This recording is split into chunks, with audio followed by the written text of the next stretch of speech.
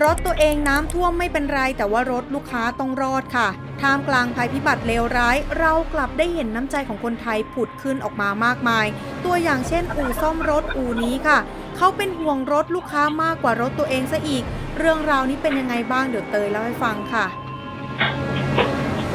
เพจ Facebook Top Motor Oil and Service เขาได้โพสต์คลิปวิดีโอเหตุการณ์น้ำท่วมที่จังหวัดเชียงรายเมื่อวันที่ 12 กันยายนที่ผ่านมา เหตุการณ์นี้เกิดขึ้นช่วงเวลาตีหนึ่งสามสิบนาทีค่ะ ทั้งอูเขาเขียนแคปชั่นว่า เป็นครั้งแรกที่เจอน้ำท่วมแสนสาหัส แต่ต้องมีสติต้องมีไหวพริบนะครับ สิ่งแรกที่ผมคิดก็คือ ต้องย้ายทุกคันขึ้นที่สูง และไม่มีเวลาเสียดายของ ต้องเลือกว่าจะเก็บอะไรไว้ เพราะเครื่องมือทุกอย่างมันคือชีวิตของผมและครอบครัว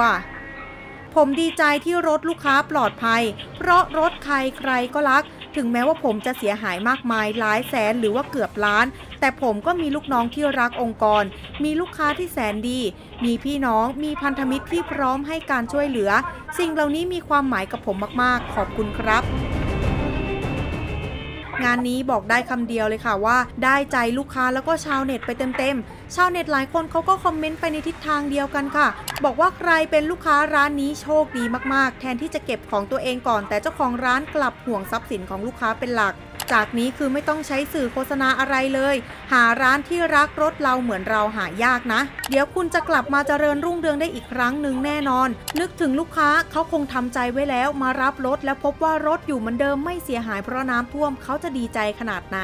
ซาบซึ้งในน้ำใจของเจ้าของร้านรวมถึงพนักงานทุกคนขอให้ทุกท่านผ่านพ้นภัยนี้ไปได้ เห็นแล้วก็ประทับใจจริงๆนะคะ